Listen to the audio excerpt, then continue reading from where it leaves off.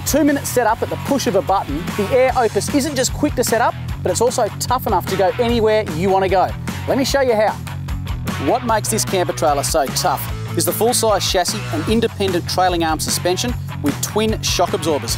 The trailer also has plenty of ground clearance with serious approach and departure angles and important underbody features like the twin 80 litre stainless steel water tanks with heavy duty bash plates for extra protection. Now that we know what this trailer is packing underneath, let's put it to the test.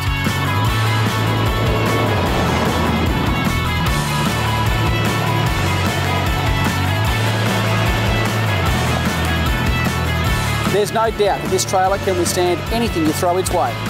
For more info, go to opuscamper.com.au.